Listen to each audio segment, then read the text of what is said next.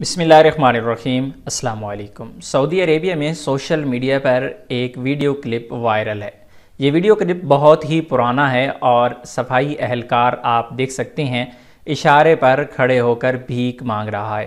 हालाँकि वो हाथ नहीं फैला रहा, लेकिन उसके जो अंदाज हैं, उसका जो तरीक़ाकार है, साफ़ ज़ाहिर है कि वो भीख मांगने के चक्कर में ही है। वो इसी चक्कर में है कि कोई ना कोई गाड़ी वाला उसे कुछ ना कुछ दे कर जाए।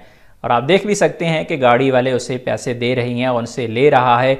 सफ़ाई के दौरान वो गंद इकट्ठा करता है, आहिस्ता आहिस्ता और जब इशारा खुल जाता है, उसी इशारे पर वो गंद बखेर के चला जाता है ताकि दोबारा इशारा बंद हो, दोबारा आकर वहाँ से भीख मांगने का कोई ना कोई सबब पैदा किया जाए।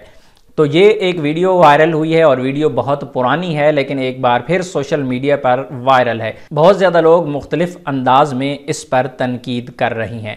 लेकिन मैं आप लोगों के साथ एक और वीडियो क्लिप शेयर करने जा रहा हूँ।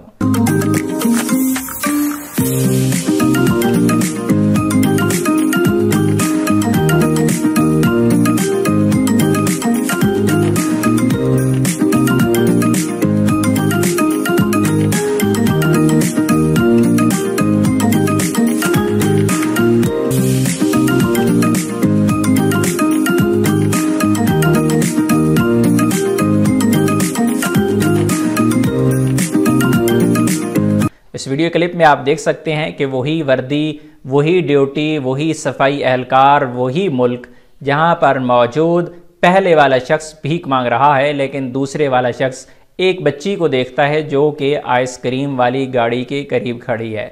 बच्ची के पास पैसे नहीं थे या जो भी मसला था बच्ची का दिल कर रहा था कि वो भी आइसक्रीम खाए। बल्दिया की वर्दी में मलबूस। इस एहलकार ने उस बच्ची को बुला के आइसक्रीम दिलवाई, पैसे अपने जेब से अदा किए। और इसी दौरान इस बच्ची की माँ ने वहाँ से वीडियो भी रिकॉर्ड कर ली। तो आप लोगों से रिक्वेस्ट है कि आप जहाँ पर नेगेटिविटी को फैलाते हैं, वहाँ पर पॉजिटिविटी को भी ज़रूर फैलाया करें। अपनी दुआ में याद रखिएगा। असलकुम